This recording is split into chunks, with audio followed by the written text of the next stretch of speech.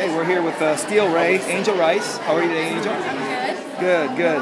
Um, yesterday's competition, you guys look great. How, how did you think it went? I think we did really good. Yeah?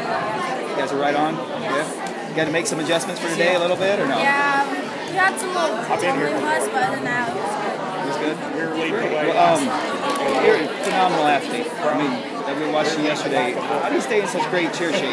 Uh, I run five miles almost every other day, and I do like four hours of tumbling. Four hours of tumbling each day. Wow, that's great.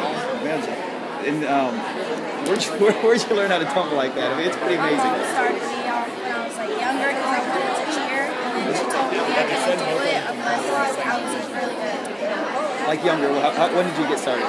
Three. Three years old. Wow, just with gymnastics classes and yeah. Well, great. I tell you what, you're, doing you're doing a great job, and uh, best of luck to you guys today. Thank you. Good. Thanks.